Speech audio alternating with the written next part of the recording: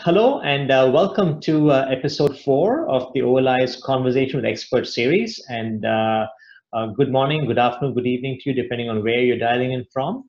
Today, it's my distinct pleasure to welcome uh, to our show uh, Dr. Ali Eslami Manesh.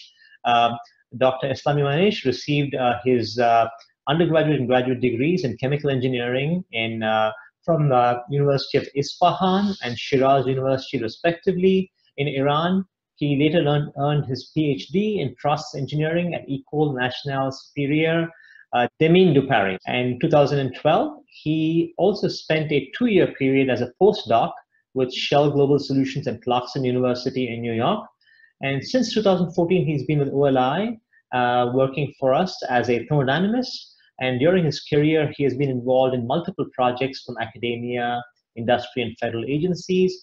He's widely published and uh, very widely cited in the topics for thermodynamics of phase equilibria, gas hydrates, electrolyte systems, corrosion, and properties of critical materials. Uh, he is a recipient of the Henry Kehiaian Award from International Association of Chemical Thermodynamics, the Excellence in Reviewing Award from Journal of Fluid Phase Equilibria, and also the Best PhD Student Presentation Award from Elsevier. Uh, he's currently focused on developing theoretical models for prediction of general and localized corrosion of corrosion-resistant alloys. Uh, so clearly, uh, you know, we're very fortunate to have him uh, talk to us today. So very warm welcome to you, uh, Dr. Ali Eslami Manesh. Thank you very much, Vinis, for having me. Excellent. Uh, I'm sure our viewers are in for a treat to learn about the science of electrolytes and how you're using that to really talk about providing some very insightful predictions in the corrosion area. Uh, so, so, with that, we will move to sort of today's topic. Uh, this topic is on modeling of the corrosion behavior of corrosion-resistant alloys and how we can use mechanistic approaches to predict corrosion in, in various chemical process environments. Uh, so with that, uh, my first question for Dr. Eslami Manesh, uh, why is corrosion important in the chemical industry? Can you give us uh, some context here? Sure. Uh, well, the chemical processes environments often um, contain corrosive multi-component systems. They include mixed acids, as well as their mixtures with or without salts. And they're usually accompanied by uh, various types of gases, of course. Uh, these components uh, potentially lead to uh, significant corrosion issues in chemical uh, processing. They bring about um, equipment failure, uh, regular shutdowns and overhauls of the chemical plants. Uh, for instance, um, high corrosion rates can be seen on piping, pumps, boilers, even in reactors, depending on the operational conditions, indeed. Uh, by the way, a comprehensive study by NACE, the National Association of the uh, Corrosion Engineers, in 2016 showed that the direct cost of corrosion in industry is uh, around 276 billion dollar a year, which is roughly equivalent to 3.1% uh, of the US GDP. So it is really considerable. That's uh, good to know. That's uh, it's a pretty important area to focus on, and we are we are putting our finger on an important problem. Uh, so how about the oil and gas industry? Uh, how does corrosion fit in there? What are some of the main issues from an oil and gas industry perspective? Yes, uh, the corrosion phenomena in petroleum industry are one of the major issues that um, affect the integrity of production and uh, transportation facilities as well as uh, process facilities. Uh, especially in the recent decades, the main concern has been the production of oil, gas, or even gas condensates from deep wells. So what happens in deep wells is that uh, temperature, pressure, and pH uh, can exceed the resistance thresholds of uh, some of the materials that are typically used in these kind of operations. Uh, but in practice, uh, presence of aggressive species such as chlorides, carbon dioxide, hydrogen sulfide, um, of course at high concentrations, uh, can result in substantial general and localized corrosion. In particular, when large amounts of formation uh, or injection waters are, are produced. I should say that uh, localized corrosion is of particular interest because it can be a precursor to stress corrosion cracking, so-called SCC, which is very common problem in oil and gas industry. So clearly these are pretty harsh environments. So, what type of materials are typically used, uh, you know, to withstand these types of uh, uh, conditions for process equipment? Uh, well, typically corrosion-resistant alloys uh, or CRAs uh, are applied in such environments. their usage of these materials um, has been really soaring. Uh, due to the need uh, for improving the equipment reliability and safety uh, in operations where we have considerable amounts of corrosive fluids. And, and, how resistant would you say these corrosion resistant alloys are to actual corrosive behavior? Yeah, very good question. Um, although the corrosion resistant alloys are uh, much more resistant to uniform corrosion compared to carbon steel or low alloy steels, uh, indeed, depending on, on their elemental structures, uh, they can be susceptible to localized corrosion as well as to uh, environmentally assisted cracking, uh, especially in harsh, sour hydrogen sulfide environments. Uh, and that um, can be in, in, the forms of sulfide stress cracking or SSC and uh, stress corrosion cracking, um, which I pointed out earlier. So um, I do realize that we do have widely used standards for material selection for these processes. Uh, you know, are, are those published standards and guidelines uh, good enough to select materials, or do we really have to understand their behavior in a more granular method through uh, modeling and simulation. Uh, that is true. We have standards, guidelines, but in practice, there are uh, various methods uh, to determine the applicability domains of these corrosion-resistant alloys. Firstly, um, as a common practice, we can consult the standards and guidelines, as you mentioned. Those guidelines are coming from the professional associations, um, such as NACE, ASME, ASTM, uh, the second way to go is to conduct or uh, utilize the direct laboratory tests, like weight loss measurements or electrochemical measurements. Uh, and the third way, and finally, we can employ empirical correlations.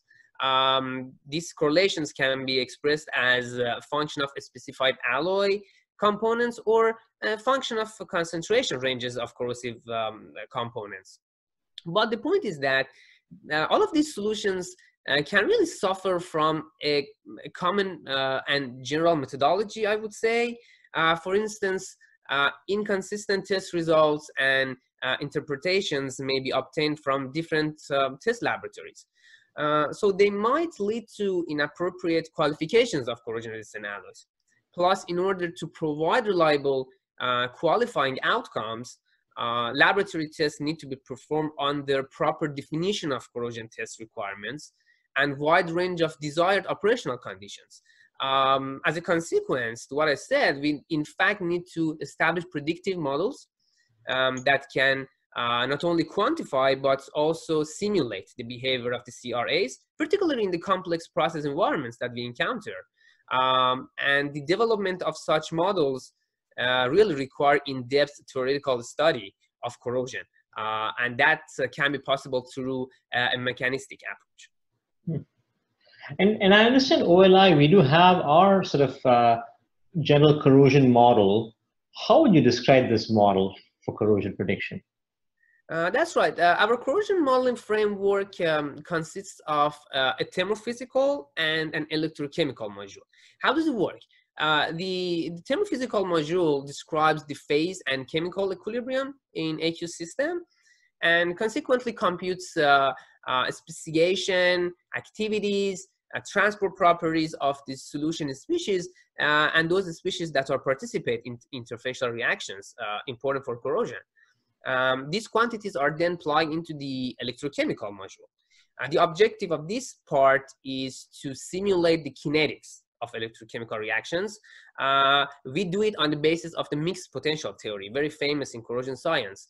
Uh, this routine considers various partial cathodic and anodic reactions uh, that maybe occur on the surface of the alloy. And also, uh, this module takes into account the transport processes for the uh, species and components that are uh, electrochemically active. One of the key features here um, is that the model uniquely accounts for the active-passive transition and uh, dissolution in the passive state of the alloy. And this is how we model the corrosion of the CRAs. Excellent. Uh, I understand that when you have uh, acid mixtures along with salts, the environment can be particularly corrosive. Uh, how does the model actually incorporate those effects for CRAs? Yeah, this is one of the major, uh, major application of our model. Uh, as a matter of fact, uh, there are plenty of data in open literature for bare metals as well as for alloys in various single component chemicals. For example, pure acids or single component chemicals. Uh, these data are being nowadays used for um, material selection. Uh, but however, the chemical process fluids that we encounter in chemical industry, they are rarely single component acids. They're often found to contain various salts. Um, someone might ask, uh, where are the origins of these salts in process? Well, they can be from catalysts, from impurities, uh, from mixing water, or even from the corrosion products. Um, another thing here is that the corrosion rate in many industrial mixtures is literally a complex function of solution as well as alloy composition, makes it very complex. And uh, uh, this fact limits interpolation or extrapolation of data uh, from a small number of um, experimental measurements that are available in literature. I'll give you an example. Uh, fluoride uh, acts and um, aggressive species, uh, very corrosive when we have dilute sulfuric acid. But mm. when we have pre-concentrated sulfuric acid, fluoride acts as um, a corrosion inhibitor. In, it in, it uh, inhibits corrosion. But having said that, a mechanistic model, the thing that we are looking for and we have developed, uh, of course, with appropriate uh, parameterization, um, it can provide insightful solutions to these challenges and eventually uh, it uh, brings about reliable prediction of corrosion of the CRAs. Excellent. Now, thinking about oil field operations, we know that sulfide stress cracking can be a significant challenge. Uh, does our model predict susceptibility to sulfide stress cracking in oil field operations?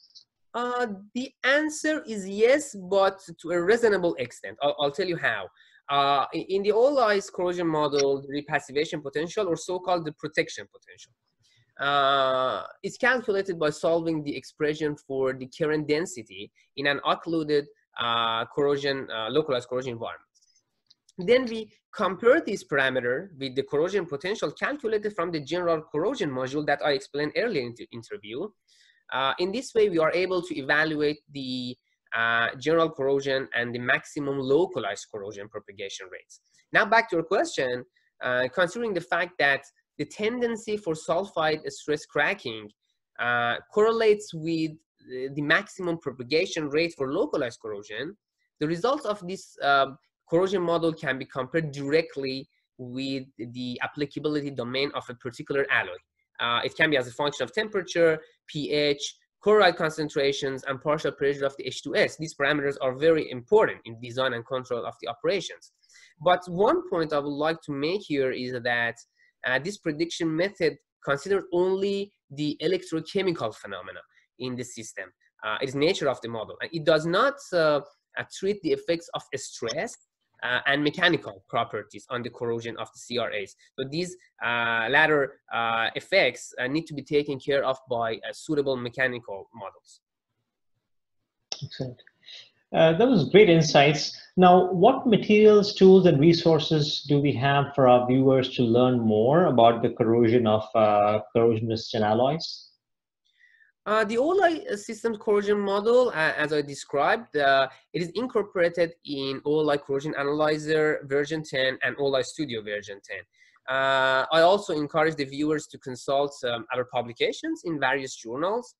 Uh, they can learn more uh, details on OLI systems, corrosion model, its components, and applicability, uh, consulting those publications. And they can also see a list of um, some relevant uh, papers of uh, ours on the, on the landing page. Excellent. this has been very, very insightful, Dr. Ali Eslami Manesh. thank you so much for your time.